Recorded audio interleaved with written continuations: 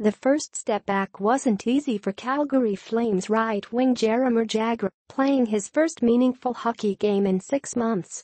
His new team won in overtime, defeating the Los Angeles Kings 4-3 at Staples Center on Wednesday. It was Jagr's 1,712th NHL game, fourth on the league's all-time list. His 765 NHL goals are third behind Wayne Gretzky, 894 and Gordie Howe, 801. Jagr, who signed a one-year, $1 million contract on October 4, played 1338, including 223 on the power play. He didn't have a shot on goal and finished minus one. He was tired and somber afterward. I didn't feel very well, Jagr said. But I expect that. I'm glad it's behind me, so hopefully next game I feel better.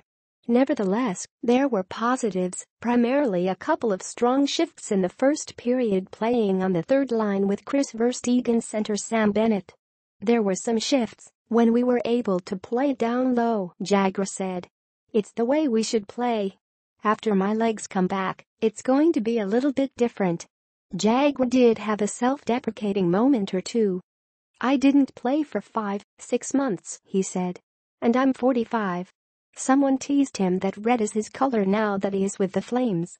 My face looks red, he said, smiling. His last NHL game was April 9, 2017 with the Florida Panthers. Some rust had to be expected. Even a 35-year-old would find it difficult with six months between games, missing training camp and skating for less than a week with new teammates. I think he had 13 minutes or so, Flames coach Glenn Gulutzan said. It's the next step in his way back without a training camp. You can't simulate what he got here tonight in those 13 minutes. We were aiming for 10 to 12, so he got a little bit more than that. We're going to build. His game is going to come. This is a big building block to get into some real fire for a while. Forward Michael Frolik, who is from the same hometown, Kladno, in the Czech Republic as Jagr, said he has been watching his countrymen closely after Jagr joined the Flames and is pleased to have another Czech teammate on hand. Obviously, it's interesting, said Frolik, who had a goal and an assist against the Kings. He's such a big legend, and coming from the same hometown he was my idol growing up. It's pretty exciting to be with him in the same room and watching what he does on the ice, off the ice, in practice. General Manager Brad Treliving said Jagr has quickly fit in with the group. It's Jaromir Jagr, Treliving said. Half the guys weren't born when he was playing.